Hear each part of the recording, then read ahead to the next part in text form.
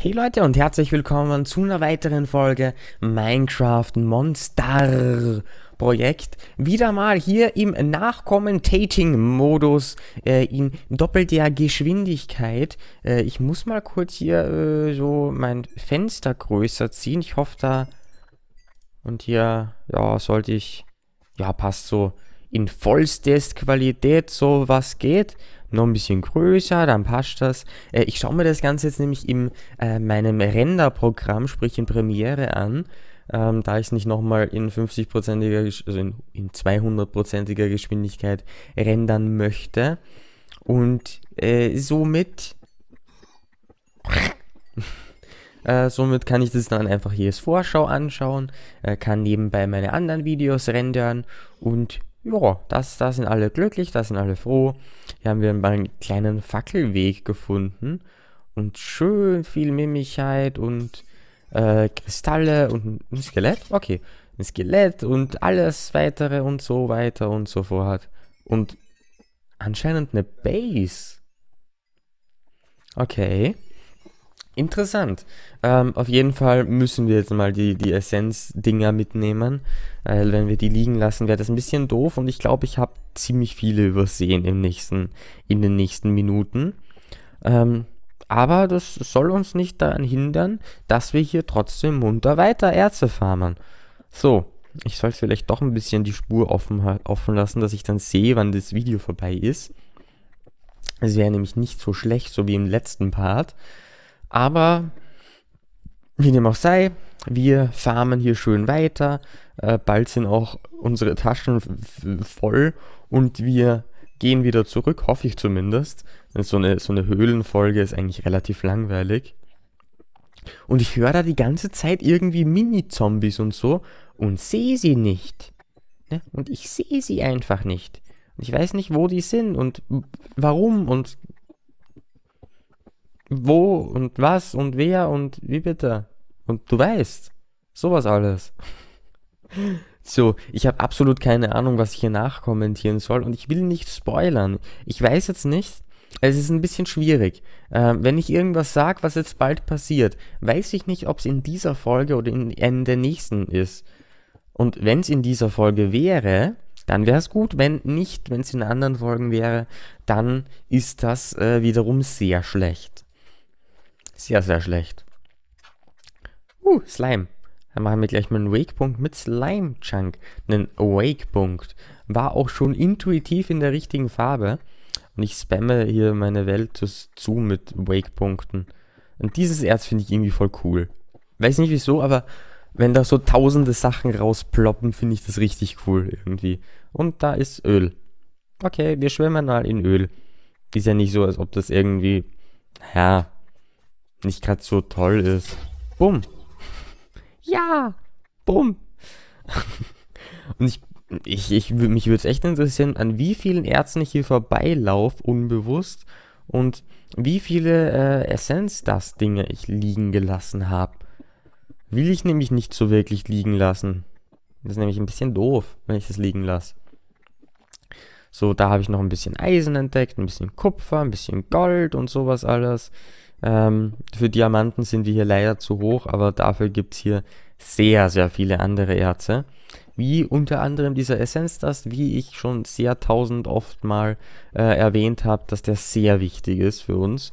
Und, denn mit dem äh, können wir unsere Diamantproduktion äh, oder können wir überhaupt anfangen, eine Diamantproduktion zu machen. Und das ist natürlich sehr, sehr gut, wenn wir das anfangen. Und das hat sich gleich doppelt gelohnt, hier hinter zu rennen. Ähm, wegen dem Kristall, wegen Eier, Eiz, Eisen, wegen Mimigkeit und wegen Essenzdust. Richtig gut auf jeden Fall. So, und da ist, da ist natürlich auch noch Gold und keine Ahnung was und überall sind Erze. Was ich überhaupt noch ansprechen wollte, äh, in diesem Modpack ist es irgendwie richtig arg, wie viele Erze es einfach gibt alle 5 cm sind 1000 Erze und das ist richtig, das, das ist jetzt nicht übertrieben. Sowas finde ich, ich finde es einfach ein bisschen übertrieben. Wenn man jetzt eine Kupferressource drinnen lässt, eine Silberressource und sowas, ist es ja super, aber nicht von jedem Mod alles, und das ist ein bisschen übertrieben. Ich meine, okay, fürs Farmen ist es vielleicht ein bisschen, naja, einfacher. Aber wenn man es jetzt so sieht, in, in, im Adventure-Modus sozusagen, also wenn man es erleben will und wenn man jetzt nicht tausendmal stehen bleiben will äh, und zehn Jahre für eine Höhle brauchen will, ähm, dann ist es ein bisschen zu viel. Und ich finde, es ist wirklich ein bisschen zu viel. Dafür sind, ist, sind Diamanten verseltenert worden, sozusagen. Wenn man das so sagen kann, keine Ahnung. Auf jeden Fall, was ich noch vorhabe, ähm, was ich in, diesen, äh, in dieser Zeitraffer nicht gemacht habe, sind mir Amulette zu bauen äh, aus diesen Kristalldingern. Denn dann kann ich die immer mit mir rumschleppen und kann dann, habe dann Resistance, Strength, Night Vision und sowas alles und es ist richtig, einfach richtig praktisch. Vor allem Night Vision für YouTube, weil das, naja, relativ dunkel ist. Aber Strength, Re Regeneration, Resistance und sowas alles, dann ist man einfach fast unsterblich, wenn man noch eine gute Rüstung hat.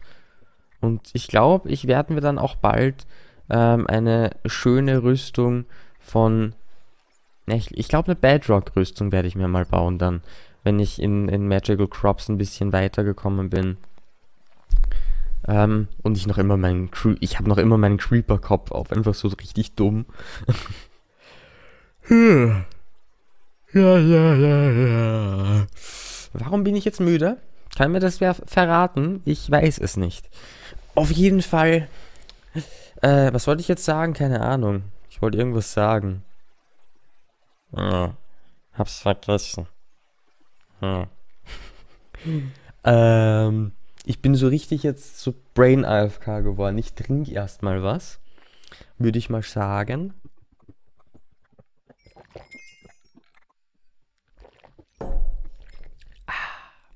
Lecker. Sehr lecker. Und ich spiele hier mit meinem Pen Spinning Pen, den man so gut sieht hier. Das ist unglaublich. Da sind nämlich überall Löcher drinnen. Wenn man hier sieht. Löcher. Oder es ist ein großes Loch. Und das sieht man einfach gar nicht. Und dann wedel ich hier einfach mit dem Hintergrund. Natürlich sehr gut, wenn man gegens Mikro haut. Dann wedel ich hier einfach mit dem Hintergrund herum. Wow.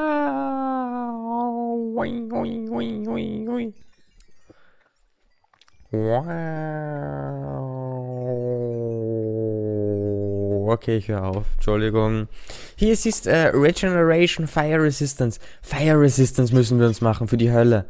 Und apropos Hölle, ähm, wie lang sind diese Kack-Zombie-Pigments auf einen böse? Ernsthaft? Ich meine, das ist jetzt zwar ein bisschen gespoilert, aber weißt was? Ich gehe das jetzt einfach mal googeln.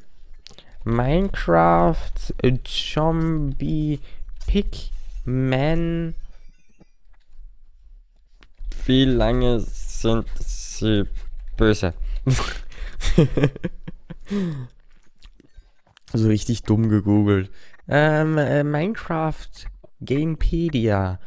Klingt vielversprechend auf jeden Fall. Was geht hier im Hintergrund ab? Beziehungsweise hier im Vordergrund? Ach, ich sammle da gerade ein bisschen Mimigkeit. Das passt ja. So schön. Ähm.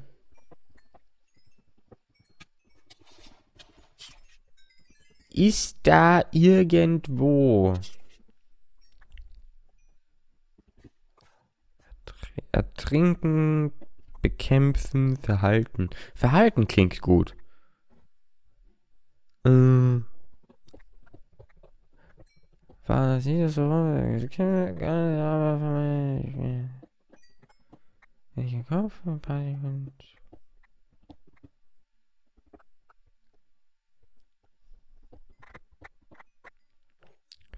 Greift man einen Zombie-Pigman an, so nimmt die gesamte Gruppe äh, eine feindliche Haltung ge gegenüber dem Spieler und im Mehrspielermodus gegenüber allen Spielern an. Nein. Und wird diesen diese, diesen verfolgen. Äh, entfernt man sich von der Gruppe und wartet zwei Minecraft-Tage, so sind sie dem Spieler wieder neutral gesonnen. Nein? Nein? Ist, ist eigentlich so, ja, okay, aber äh, Nicht in diesem Modpack, warum auch immer. Da muss ich mich noch ein bisschen erkundigen. Irgendwie, da habe ich gerade äh, Essence-Dingsbums gefunden, äh, Essence-Berry-Busch und sowas. Hab mich total gefreut. Und dann habe ich entdeckt, ach, das ist ja nur für XP. Wow. Ich habe gedacht, ich kann mir da auch noch so Essenz-Dinger, naja, züchten, sage ich mal. Auf jeden Fall äh, Zombie-Pigments in diesem äh, Minecraft-Monster. Irgendwie sind die gefährlicher. Irgendwie, ich weiß nicht. Die bleiben aggressiv, warum auch immer. Hätte ich mir irgendwie nicht gedacht. Ist vielleicht nur bei mir so, weil ich so ein, so ein scheiß Typ bin oder so, weiß ich nicht. Auf jeden Fall bleiben die aggressiv. Und ich hoffe, dass sich das irgendwann wieder beruhigt, äh, denn wenn die weiterhin aggressiv auf mich sind, dann kann ich den Nether einfach vergessen. So, jetzt bin ich auf die glorreiche Idee gekommen, hier ein bisschen Sand zu farmen, da ich ja noch ein bisschen Glas brauche, äh, da ich für, äh, für den Blast Furnace immer wieder Glas brauche und so weiter und so fort und meine Schaufel eh relativ schnell ist. Von dem her sammle ich da jetzt einfach mal ein bisschen so richtig, richtig verpeilt, so. Ne? So in etwa hat es auch in normaler Geschwindigkeit ausgeschaut. So, hier hoch und dann ab nach Hause. Endlich äh, bin ich wieder aus der Höhle draußen und jetzt geht's hardcore ans Gra Craften, an Sachen entdecken, an Farm weitertreiben. Die Farm, ähm, ja, wir haben jetzt keine Diamanten, aber das wird sich in den nächsten Folgen ändern, auf jeden Fall. Denn ich habe ja in der Höhle eine kleine Methode entdeckt, äh, Diamanten herzustellen, sprich zu craften, sprich Kohle zu kompressieren, ja, komprimieren. Und so werde ich das Ganze jetzt auch anstellen, dank meiner ähm, Kohlefarm da hinten. Also, nee, warte, wo ist es jetzt? Hier drüben ist es. Da so hinten, hier, da. ähm, und da bin ich mal sehr gespannt. Was mache ich da? Ach so, das ist mein Rucksack, okay. Da packe ich dann da die Sachen raus. Ist, ist gut, okay. Gut. Ich dachte mir schon irgendwie Dings. Und ich muss mir unbedingt ein, ein Lagersystem machen. Entweder ich sortiere die Kisten einfach mal, aber aufgrund von den tausenden Sachen, die ich immer wieder brauche und den tausenden Sachen, die neu dazukommen, äh, wäre so so ein Server, wo das Ganze drauf liegt, ähm, wie die Jungs von Skytech das Ganze haben, richtig gut. Muss ich mal schauen, wie das Ganze hier in Monster funktioniert. Ähm, welche Dings, ob ich mir da so ein ME-System oder sowas mache. Mal gucken, weiß ich nicht. Ähm, ME ist dann sowas, sowas mit Serverzeugs. Ähm, oder sonst irgendein anderes Lager, äh, was der Alex mir schon mal gezeigt hat. Da muss ich mich ein bisschen äh, informieren. Das wird dann nachdem ich Magical Crops ein bisschen weitergemacht habe, äh, mein nächstes Vorhaben sein. So, erstmal hier die Busche, die, die Busche, die Büsche, so heißt das Ding. Schön hier aufpflanzen, aufpflanzen. Was habe ich heute für ein Deutsch? Egal. Auf jeden Fall ist die Folge in eineinhalb Minütchen vorbei. Das ist nämlich ganz toll. Ähm, so, und jetzt würde ich mal sagen, ich mache mir mal ein paar äh, von diesen Essenzdingern wieder. Mal schauen, wie viel ich da rausbekomme. Bin ich, bin ich echt gespannt. Aber es schaut schon vielversprechend aus, dass ich eine Extreme Essenz bekomme. Uh, sieben, das heißt eine Extreme Essenz, fast zwei Extreme Essenzen habe ich schon. Das heißt, fast die Hälfte ähm, für einen Diamant sieht. Und das ist richtig gut. Dann haben wir schon von den 14 Stacks, was wir brauchen, naja, so um die 6, 6,5 oder was. Und das ist schon mal richtig super, finde ich.